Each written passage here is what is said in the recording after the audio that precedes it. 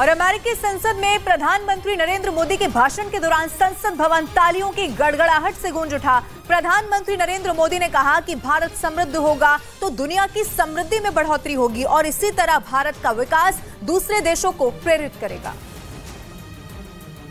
क्योंकि पिछले सात सालों में बहुत कुछ बदल गया। इन सात सालों में भारत और अमेरिका के बीच दोस्ती ने नई उड़ान भरी है। प्रधानमंत्री नरेंद्र मोदी ने कहा कि इस संसद में भी कई भारतीय हैं। इस दौरान प्रधानमंत्री ने कमला हैरिस की तरफ़ हाथ से इशारा किया जिसके बाद पूरा सदन तालियों से गूंज उठा। प्रधानमंत्री ने कहा कि हमारे यहाँ 2,500 राजनीतिक दल हैं और 22 भाषाएँ हैं और हज़ारों बोलियाँ बोली जाती हैं लेकिन हम सबकी आवाज़ एक होती है। हमारे यहाँ हर 100 मील पर खान पान बदल जाते हैं। इस दौरान प्रधानमंत्री ने दुनिया को भारत की महिला शक्ति का भी एहसास कराया उन्होंने कहा कि भारत की अर्थव्यवस्था, सेना और सरकार में हर जगह आज महिलाएँ बड़ी भूमिका निभा रही हैं।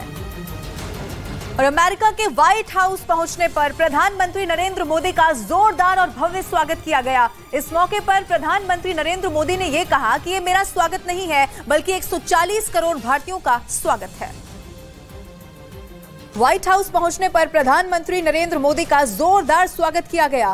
प्रधानमंत्री नरेंद्र मोदी के स्वागत के लिए अमेरिका के राष्ट्रपति जो बाइडेन और उनकी पत्नी फ़र्स्ट लेडी जिल बाइडेन पहुँची। जिसके बाद दोनों नेताओं ने व्हाइट हाउस में आए हज़ारों भारतीय और अमेरिकी नागरिकों को संबोधित किया।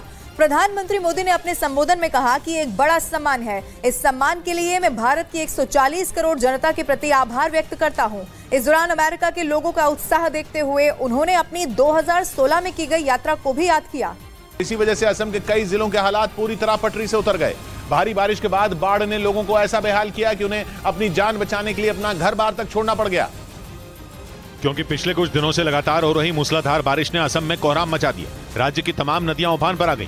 कई जिलों में नदियों का पानी तटबंधों को तोड़कर गाँव और रिहायशी इलाकों में घुस गया। राज्य के अलग अलग जिलों से जो तस्वीरें सामने आई, उनमें कई गाँव बाढ़ के पानी में डूबे दिखे। जिन रास्तों पर गाड़ियाँ चलती थी, वहाँ कई फीट पानी भर गया। जगह जगह गाँवों को शहरों से जोड़ने वाली सड़कें पानी के तेज बहाव में बह गईं। कुछ इलाकों में तो कई पुल धराशायी हो गए। वहाँ से आई एक तस्वीर में एक महिला तेज बारिश के बीच हाथ जोड़कर खड़ी नज़र आई। एक रिपोर्ट के मुताबिक असम में 500 से ज़्यादा गाँव बाढ़ में डूब गए और हज़ारों एकड़ ज़मीन पर लगी फ़सल पूरी तरह चौपट हो गई। और असम के नलबाड़ी ज़िले के हालात तो और भी ज़्यादा खराब हो गए, क्योंकि वहाँ बहने वाली नदियाँ उफान पर आ गईं, जो अपने साथ इलाके की कई सड़कों को बहा ले गई। सड़कों के टूटने से आसपास के कई गाँवों का संपर्क शहरों से टूट गया। मतलब पिछले कुछ दिनों से वहाँ आसमान से लोगों पर बारिश की शक्ल में आफत बरस रही है, जिससे पूरा नलबाड़ी जिला सैलाब की मार झेलने को मजबूर हो गया। लेकिन परेशानी यह है कि हर गुजरते दिन के साथ वहाँ के हालात बिगड़ते जा रहे हैं, क्योंकि भारी बारिश की वजह से ज़िले की नदियाँ उफान पर हैं, जिनकी ताकत के आगे सड़कें और पुल तिनके की तरह बह रहे हैं।